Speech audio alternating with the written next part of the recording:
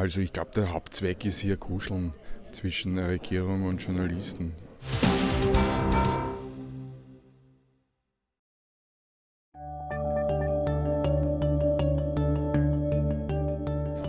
Wenn ich ganz offen sein darf, niemanden.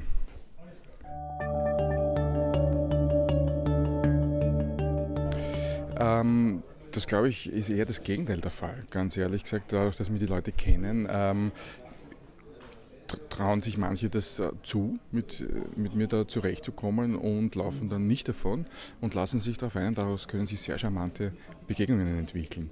Also es hat sich natürlich schon stark verändert, dadurch, dass mich eben alle erkennen, aber der Schockfaktor ist nicht mehr so groß, das Spielerische äh, überwiegt. Puh, das ist eine schwierige Frage. Äh, gar nicht so leicht zu beantworten. Aber ich habe, sagen wir, gute Erfahrungen gemacht mit dem Wissenschaftsminister, Heinz Fassmann. Den hatte ich einmal zu einem ähm, Zweier-Interview und da hat er sich mehr als wacker geschlagen, um eine blöde Redewendung äh, zu verwenden. Also, der hat einen guten Humor und äh, auch in jedem Fall das Rüstzeug, das rhetorische Rüstzeug, um, um da mit jeder noch so verqueren Frage gut zurechtzukommen.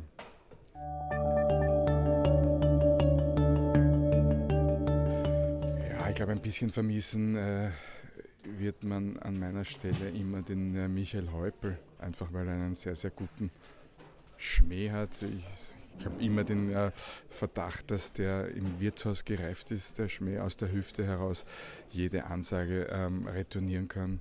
Also das hat äh, mich schon auch immer wieder beeindruckt und ja, da ist ein bisschen schade, dass ich dem wahrscheinlich nicht mehr begegnen werde. Komme jetzt mit der klassischen Politikerantwort, das müssen Sie ihn bitte selber fragen. Ich habe natürlich meine, meine Meinung zum Thema, meine Überlegungen dazu, aber ich will sie da jetzt nicht großartig ausbreiten. Es stimmt, dass ihm das Format äh, ein bisschen zuwider ist, also er fühlt sich da einfach nicht zu Hause. Dadurch, dass er sich nicht so zu Hause äh, fühlt, äh, macht äh, manches für, für uns dann leichter. Ja.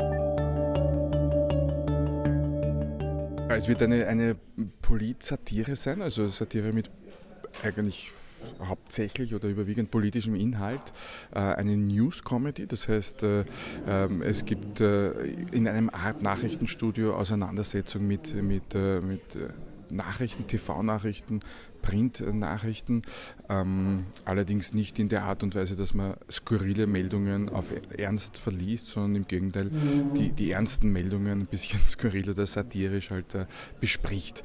Und das lehnt sich an an äh, amerikanische US-amerikanische ähm, Vorbilder, wo ja diese Form der Polizatire seit 20, 25 Jahren etabliert ist. Und äh, ja, wir haben einfach das Gefühl gehabt, dass sowas massiv fehlt in Österreich und würden da gerne entsprechend nachlegen.